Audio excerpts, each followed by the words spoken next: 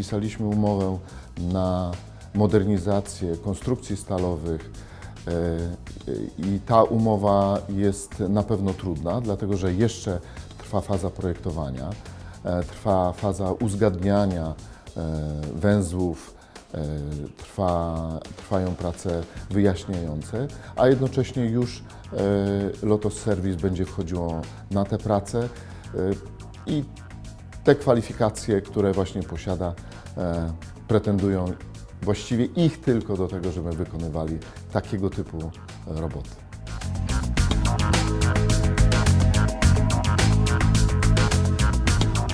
Jest część prac, gdzie nie wyobrażamy sobie, żeby to wykonywała inna firma niż firma nasza Lotos Service, która zna bardzo dobrze uwarunkowania terenowe, zna bardzo dobrze dokumentację, zna bardzo dobrze nasze instalacje.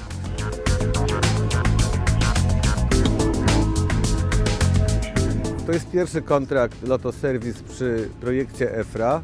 Zakres prac jest to modernizacja istniejących e, estakad, na których leżą e, rurociągi e, międzyobiektowe łączące instalacje dotychczasowe e, afineryjne z instalacjami nowobudowanymi, instalacjami EFRY. Do realizacji modernizacji estakad e, i mult dla projektu EFRA będziemy zatrudniać e, naszych byłych pracowników e, z oddziałów południowych, którzy pracują w spółkach e, remontowych REM Service Jasło i REM Service Czechowice.